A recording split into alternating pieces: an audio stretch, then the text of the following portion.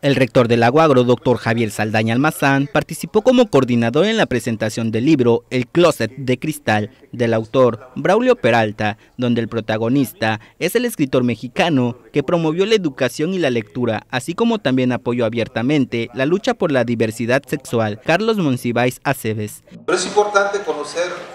la realidad del maestro. ¿Quién fue el maestro? Lo importante es lo que aportó a México la literatura, la sociología, la comunicación, cosas que se atrevió a decir cuando estuvo al lado de Berto Castillo, cuando estuvo al lado de personalidades grandes que transformaron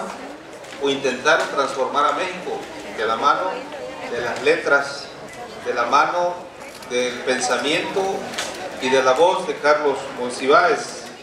en el mismo escenario, el Fuerte de San Diego, los asistentes a este recinto cultural, sede de la Feria Internacional del Libro Acapulco 2016, se deleitaron con los bailes regionales ofrecidos por cada uno de los integrantes del ballet folclórico Malimtsi.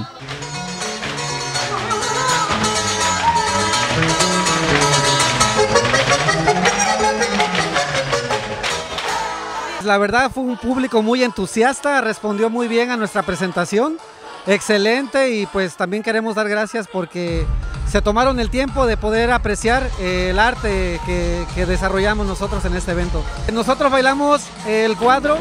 de Cruz Grande, lo que son sones de artesa, que es uno de los bailes más representativos de aquí de la, de la costa en el que bailamos el patito y la iguana, obviamente, que no puede faltar. La Universidad Autónoma de Guerrero, en el penúltimo día de la cuarta edición de la Feria Internacional del Libro Acapulco 2016, tuvo una participación destacada, cumpliendo las expectativas de este magno evento cultural. Con imágenes de Daniel Carvajal, para Guagro TV, Gaudencio Cantú.